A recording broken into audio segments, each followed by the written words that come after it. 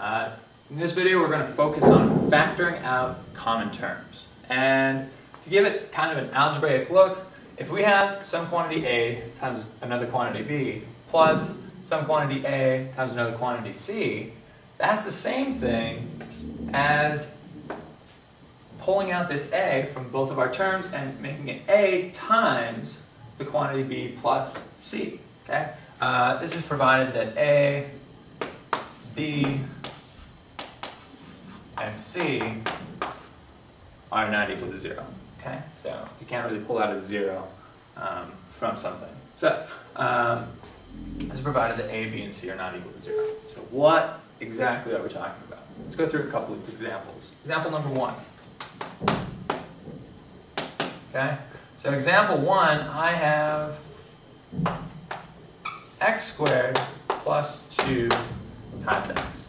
Okay, x squared plus 2 times x. Um, and so what we're looking for when we're factoring out common terms is something that's present in both of these terms. Okay, well x squared is actually x times x. Okay, we're talking about 2 times x.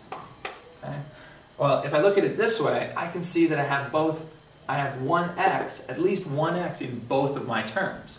So I can take that and actually pull it out and just multiply that by what's left. Okay, so I've got an x here and an x here. So I'm going to take x, which represents both of these x's, and take it times x plus 2.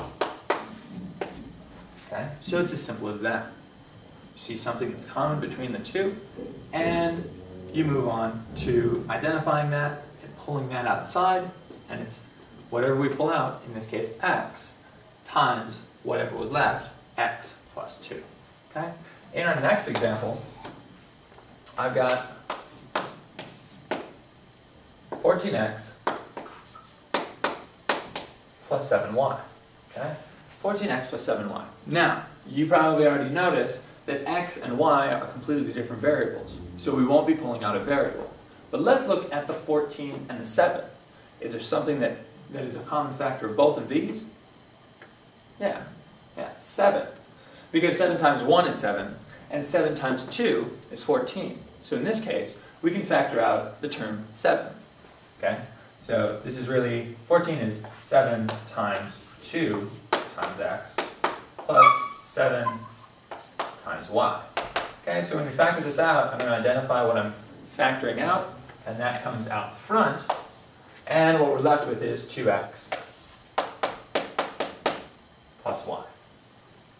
And that is completely factored.